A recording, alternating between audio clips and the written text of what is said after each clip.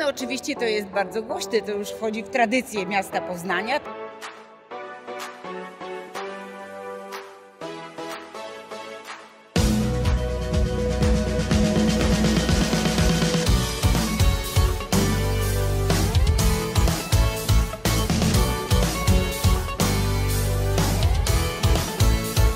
No i my żyjemy we wspólnocie, więc takie e, wiadomości po prostu są.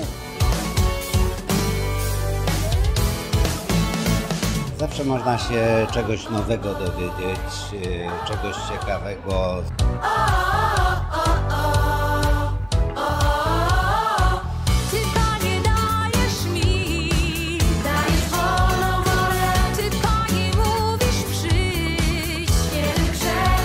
Słyszeliśmy właśnie, jak Pan Jezus mówi, no potrzebuję Was, idźcie i głoście cały czas. No i w końcu